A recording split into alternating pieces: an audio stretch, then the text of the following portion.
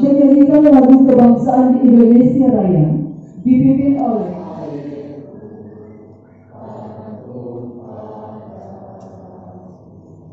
Sederalun, sebanyak 220 CPNS formasi 2018 dalam lingkup kantor wilayah Kementerian Agama Aceh dilantik dan diambil sumpah sebagai pegawai negeri sipil.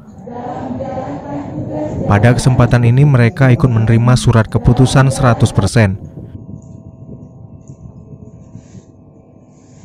CPNS yang menerima SK terdiri dari guru Madrasah Aliyah Negeri atau MAN yang ditempatkan di 17 kabupaten kota di Aceh, serta pegawai di Kanwil Kemenak Aceh. Seluruh PNS yang dilantik diwajibkan mematuhi protokol kesehatan dan keselamatan seperti mengenakan masker, menjaga jarak, memakai sarung tangan, dan diperiksa suhu tubuhnya sebelum mengikuti acara pengambilan sumpah.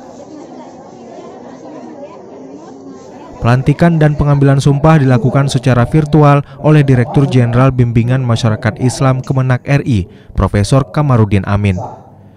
Sementara itu, penyerahan SK dilakukan oleh PLT Kakanwil Kemenak Aceh Julaidi dan Kepala Bagian Tata Usaha Saifuddin di halaman Kanwil Kemenak Aceh. Yang menjadi kewenangan Kanwil itu yang ada di MA semuanya. Kalau yang MI dan MTS dilantik di kabupaten kota. Hari ini ada 220 orang dilantik dari 17 kabupaten kota yang ada di Aceh dan dilantik langsung oleh Pak Islam sesuai dengan arahan Pak Menteri lewat online dan Jakarta. Dari Banda Aceh, Muhammad Nasir, Serambi On TV.